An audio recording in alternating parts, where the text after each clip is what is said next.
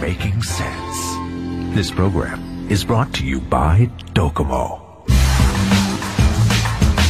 What is sense? And what is sensibility? You may just find out here. Docomo Making Sense. 皆さんこんばんは、清水美智子です。三谷幸喜です。あのー 今年僕50になるんですけど、はい。やっぱこの年になってはい人に怒られるってすごくショックというかずっと引きずるものですね。怒られたの珍しいね。三谷さんに怒ってくれる人まだいたんだ、私以外に。うん、あはいそうそう清水さんもねよくお怒りになられてるけど、今も、うん、怒ってますよ。怒ってる意外。わかんないな熊みたいですね清水さんね本当、うん、怖いですね。いや、で、してますけども。何何？あの藤原竜也さんうん。に怒られたんですけども嘘でしょ？だって、28ですよあいつ。朝日読んだそんなやつにら、怒られる。全然三谷さんが怒るべきことをしてるじゃないですか、あの方。いやいやなんかねあの本番中にね、うん。ろくでなし卓木の本番うん。があってで袖で見てたわけですよはい。で、まあ、いつもそうなんですけどあの演出家ってやることがないじゃないですかうん。まああのダメ出しもししますけどもそんなにこう毎日毎日こうダメ出すってことでもないから、まあ、普通にこう見ててちょっと退屈する時もあるわけですようんうん。で藤原竜也さんがその一回あの出番を終えて袖に戻ってきてでそこでちょっとこう水とか飲んでまた次へ出てくでその順番順番っていうかその出番待ちをしてる時にうん袖で退屈してんのかなと思って 寄ってって話しかけたんですよ、うんそのくだらないなんか世間話みたいな、うん。うん。今日さなんか誰か来てるのかなみたいなこととかね。そしたらカッて僕の方を睨みつけて。それで本番中？本番中。うんうんうん。まあいけないんです。怒るかも。うん。すごいもう集中してる顔なんですよ。いつもはなんかこうだだっこみたいなね。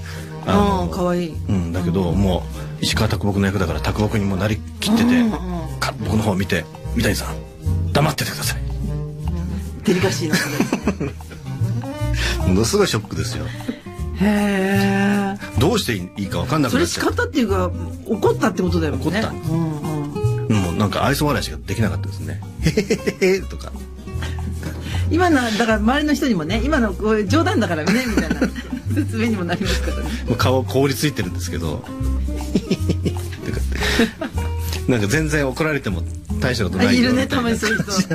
ねなんて言ってねなんて全然平気だもんみたいな。そういうの卑屈というのかな。ですぐ彼はバッバッてこう舞台に出てってもう芝居に入ってましたからねまあさすがだなと思いましたけどうん。こういうのやっちゃいけないんだなと思っていけないと思いますね。本当にうっとうしかろうと思いますね。彼はやっぱすごい真面目でねストイックなんですよ、なんで分かってそういうことするの？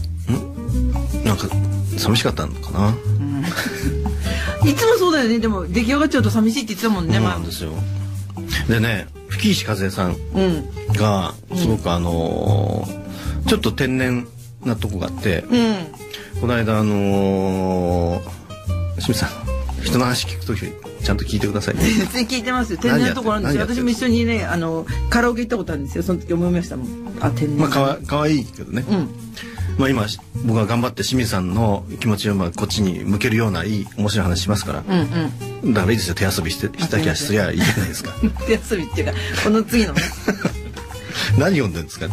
なんかね、あの、このディレクターさんが、話に詰まった時用にクイズトランプってのを、なあ こんなのいらないよ。ちょっと見たら、ああれにも面白くて。そして今詰まってないですから話にすごい今こういい感じで進んでる時にすいません。こういう態度でしょ？だから何やってそっちが藤原さんの気持ちで。僕真剣なんですよ。そんなひどくそんなひどくないですよ。もう今怒りを通り越してる。ねえねえクイズトランプやろうよみたいなのが三谷さんだったわけだから私は反面教師として三谷さんの役をやってあげたんですでもさすがに出番待ってる俳優さんにちょっとクイズトランプやんないって言わ同じようなないですことですよ。他のことをちょっとこう 悪魔のささやきをしたわけですからね。ほんでそれでね福井さんが、うん。福井さんがそそれは楽屋でですけど楽屋でなんか自分のあの知り合いに中村勘太郎さんも出てるんで、うん。中村勘太郎さんを紹介するときに全然ふざけてるわけじゃないんで真面目に、こちらが滝蓮太郎さんです」って。言っちゃったの太郎がね。さすがにみんな笑うわけですよ。面白い。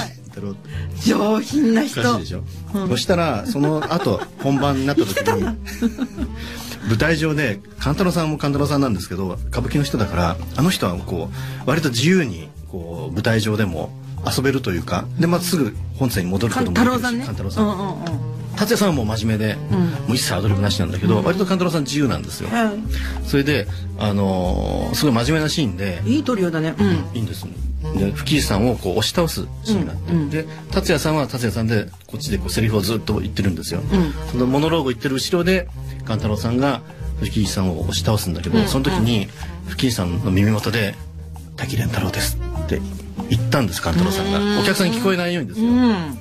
そしたら吹石さんがちょっと笑っちゃった舞台上で。そしたら達也さんがものすごい怒って。あれは何だい。大人はどいつもこいつも。勘太郎さんもよくないけど、普通、まあ、僕もそういういたずらとかするけどそれは絶対相手が崩れないっていう条件があるわけですよだからこう信頼関係っていうか、うんうんうん。で絶対舞台上で笑うなんてことありえないからだからわざとこうちょっと面白いこと言ったりとかねするんだけど吹石さん本当に笑っちゃったから。大失敗じゃないですかでで でもそれはまあそれは三谷さんが悪いんじゃない僕は悪いんじゃないですか河村勘太郎が悪いんですけどね。紐解くとその女優さんもねちょっと悪かったわけですからね、悪いのは滝蓮太郎ですよ。何もしてないでも達也さん本当に真面目な人だから、うん。もうそういうのがねダメで。で勘太郎さんがちょっと例えば2人のシーンがあって達也さんがこの間「自然な感じでいいんだよ」っていうセリフを言う時に「自然な感じでいいんだよ」ってつい言っちゃったら もう勘太郎さんそういうのすぐすくい取って「自然な感じ？ん？自然な感じ?」とかって突っ込むわけですよ。うん。そしたら達也さんはもうそういうのにこうストイックだから。ストイックだから無視なんですけどもちょっと嬉しそうにちょっと照れくさそうにその時はしてましたけどでお客さんこう喜ぶみたいなね。